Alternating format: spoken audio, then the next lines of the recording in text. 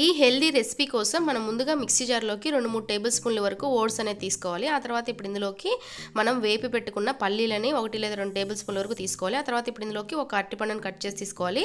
అరటిపండు ప్లేస్లో మీరు యాపిల్ అయినా కట్ చేసి తీసుకోవచ్చు అనమాట మన ఇష్టం మన దగ్గర ఏది ఉంటే అది తీసుకోవచ్చు. ఆ తర్వాత ఇప్పుడు ఇందులోకి ఒక పదిహేను నిమిషాల పాటు నానబెట్టిన డేట్స్ని కానీ ఎండు ఎండు ద్రాక్షలు కానీ అంటే మన దగ్గర ఏది ఉంటే అది తీసుకోవచ్చు.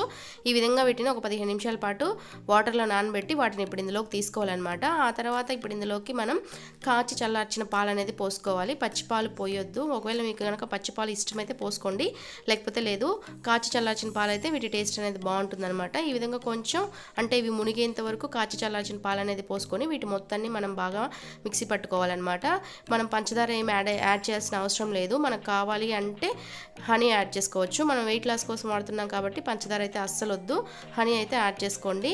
అంతే దీని మొత్తాన్ని మిక్సీ పట్టుకొని ఇప్పుడు ఒక గ్లాస్లోకి సర్వ్ చేసేసుకొని తాగితే సరిపోతుంది ఇది చాలా అంటే చాలా చాలా టేస్టీగా ఉంటుంది. మనకి తొందరగా ఆకలి అవ్వదన్నమాట వెయిట్ లాస్ అవ్వాలనుకో అనుకునే వాళ్ళకైతే మార్నింగ్ తాగడానికి ఇది ఒక బెస్ట్ రెసిపీ అని చెప్పవచ్చు.